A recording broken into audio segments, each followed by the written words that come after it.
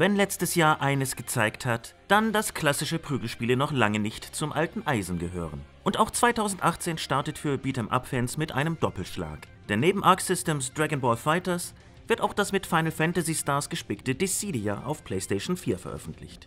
Wir haben uns für die Vorschau intensiv mit den teambasierten Duellen beschäftigt.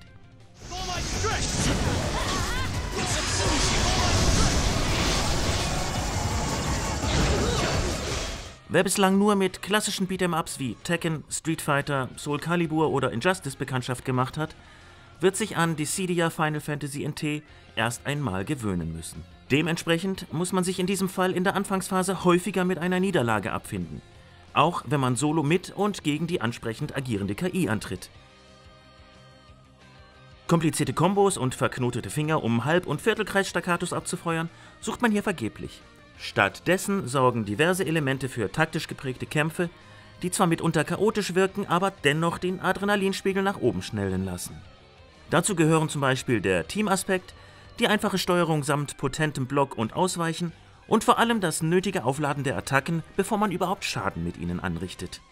Auch die aus allen Richtungen möglichen Angriffe in den teils überraschend großen Arenen sorgen dafür, die im Vergleich zu anderen Prüglern eingeschränkt wirkende Bewegungspalette zu kompensieren. Don't you dare go easy on them!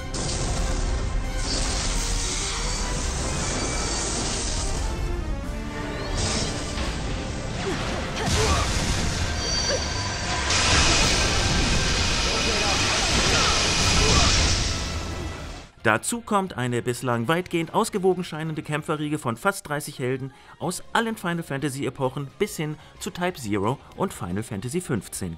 Natürlich wird viel davon abhängen, ob Team Ninja es schafft, einen vernünftigen Netzcode anzubieten, damit die Dynamik der Duelle online nicht ausgebremst wird. Ebenfalls spannend ist die Frage, ob sich Dissidia Final Fantasy NT vorrangig an Online-Spieler richtet oder auch für Solisten genug Inhalte geboten werden.